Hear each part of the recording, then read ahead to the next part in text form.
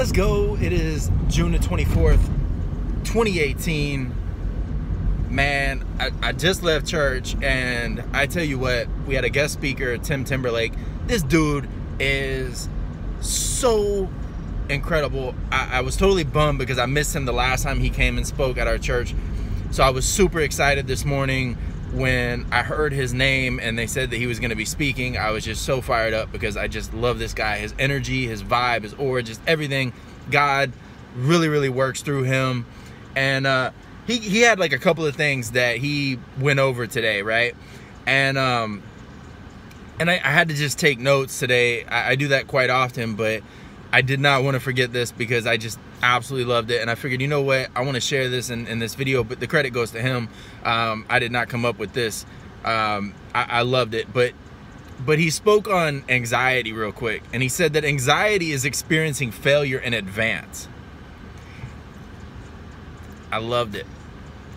I, I, can't tell you how many times I feel anxious over something that hasn't even happened or occurred or whatever because I didn't take the time to put faith in God and just say, you know what, you you got this. I'll I'll, I'll be all right. You got this.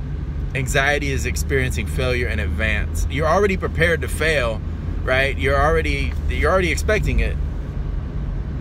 Man, I just I, I, I love that. And then and then he said two things that kill joy faster than anything living in the past and comparing ourselves to others.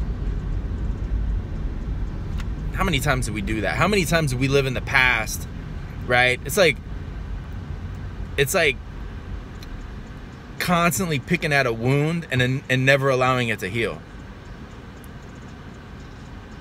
And then comparing ourselves to others. How many times I've talked about this before, but how many times do you go online, right, see somebody else's life and go, "Oh man," or you know, we watch reality TV. I, I, I don't anymore, but you watch reality TV or you look at these superstars, these movie stars, and you see their lives and you go, "Oh my goodness."